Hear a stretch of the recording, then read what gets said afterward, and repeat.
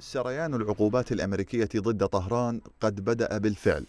عقوبات تناغمت مع وقع الاحتجاجات الشعبية في إيران لتضع النظام بين مطرقة عقوبات ترامب وسندان الغليان الشعبي.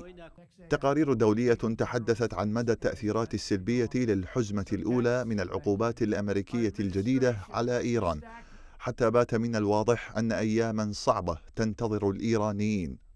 صحيفة التايمز الأمريكية تحدثت عن أثر عقوبات ترامب على الشارع الإيراني بالقول إن إيران تعيش أزمة حقيقية حيث نظم الإيرانيون على مدار الأيام الماضية سلسلة من التظاهرات احتجاجا على ارتفاع الأسعار وانهيار العملة والفساد الحكومي في المؤسسات.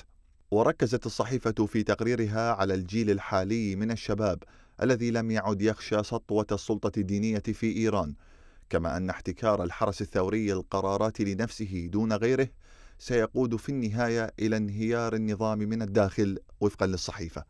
وعقب سريان العقوبات الأمريكية بساعات هدد ترامب بعقوبات قاسية على كل من يتعامل تجاريا مع إيران.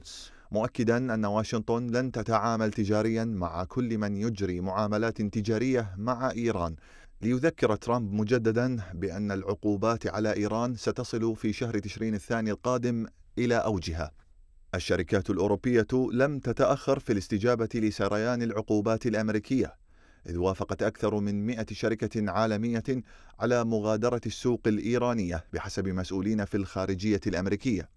بينما ظلت الشركات الصينية ونظيراتها الروسية تواصل نشاطاتها في إيران متجاهلة العقوبات الأمريكية.